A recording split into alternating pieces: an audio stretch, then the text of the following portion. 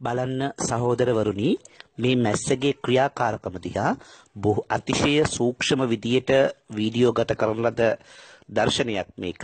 මේ මැස්ස අපේ ආහාර කෙතරම් අපවිත්‍ර කරනවද කියලා ඕගලන්ට බලා ගන්න පුළුවන්.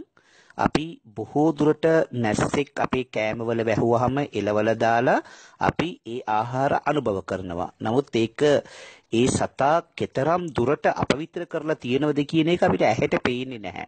නමුත් අපි අතිශය සැලකිලිමත් වෙන්න ඕන මේ මැස්සන් අපේ ආහාර කෙතරම් අපවිත්‍ර කරනවද කියන එක. මේ නිසා භයානක ලෙඩ රෝග පවා බෝ වෙන්න පුළුවන්. එබැවින් අපි ආහාර අතිශය සුරක්ෂිතව අනුභව කරන්න පුරුදු පුහුණු වෙන්න ඕන.